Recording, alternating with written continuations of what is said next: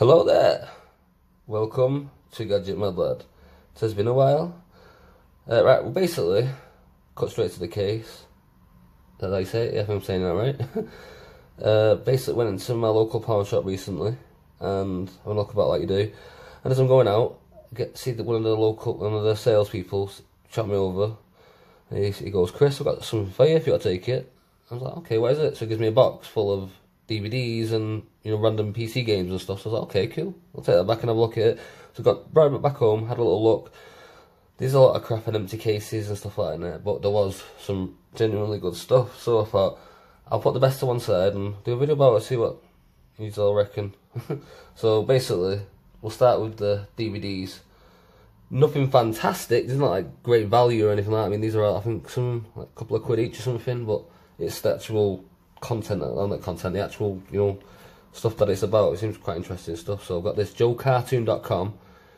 This has got a poster inside it as well. Immaculate DVD. I checked it online. It's only worth two pounds something, but um, that's not the point, is it? It's a collectible, you know, like um, nostalgic value. So I've got that.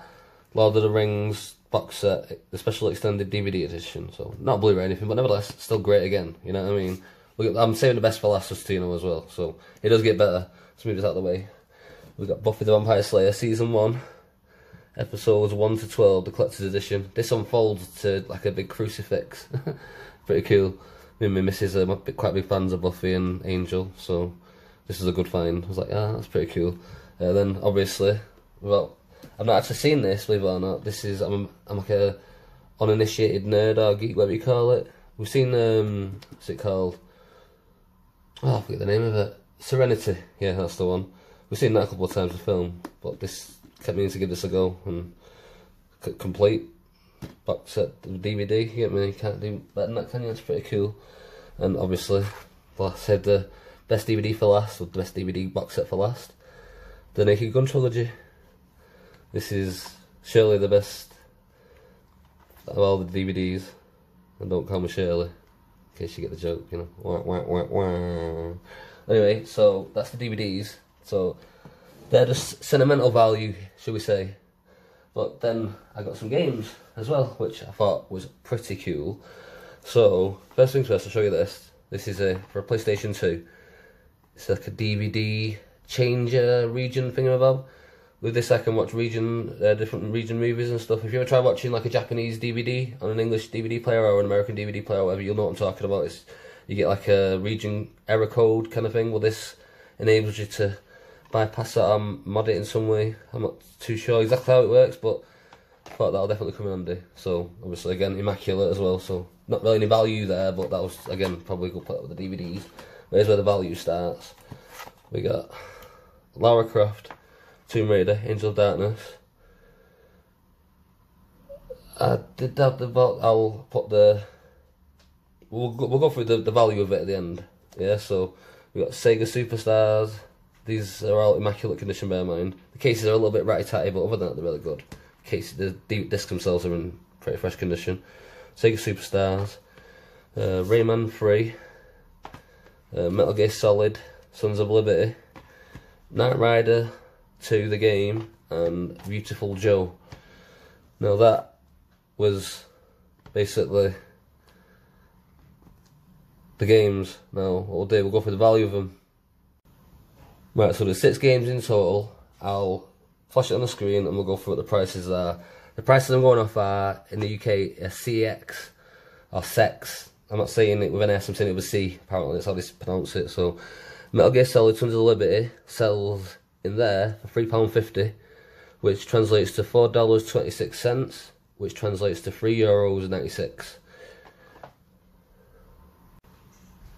Again, continuing with the prices from CX, translated into other currencies, we've got Viewtiful Joe, which is one of the dairy games, which is £8 in the UK, which is $9.73 or uh, €9.06.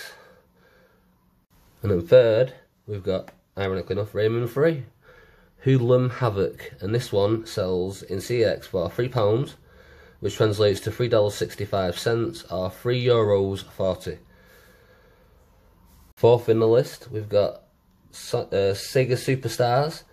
which is not worth much, but it's still the, it's a pound. So that's one dollar twenty two cents or one euro thirteen. Fifth, we've got Lara Croft Tomb Raider: The Angel of Darkness. This one goes for two pound fifty, which translates to three dollars four cents or two euros eighty three. Looking forward to giving this a play. To be honest with you, sixth on the list is Knight Rider 2 the game, or Knight Rider the game 2, which we look at the spine, it's actually Knight Rider 2 the game. A little bit illiterate with the punctuation or whatever there. but this one is actually surprisingly worth £8 in the UK, uh, translates to $9.73 or 9 euros and 6, which will now cut to the total. But wait, before we do, I to put one thing to one side there. Uh, this was a, you know, I was saying there was empty DVD cases in there. This was something that came with the empty DVD cases. Well, this is an empty DVD case, but I kept the sleeve because if you look there, you see where it says all three movies, including an exclusive Stan Lee comic. Well, you'll never guess what was included in it, and it was the actual comic.